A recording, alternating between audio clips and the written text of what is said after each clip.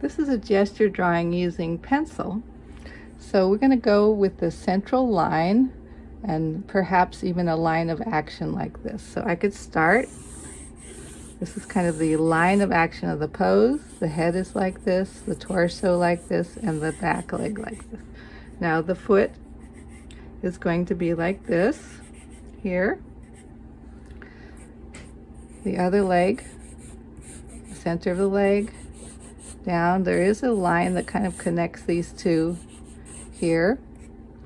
We have the arm coming down and this arm like this. Maybe coming from a little lower, from right about here.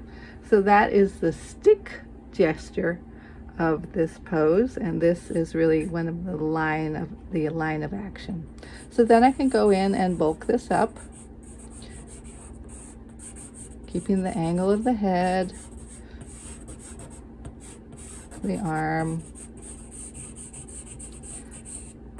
the torso, the leg, the foot.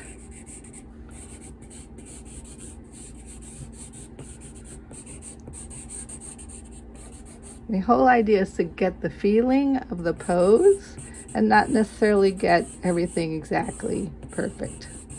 Okay, so you're just trying to get the general feeling of the pose.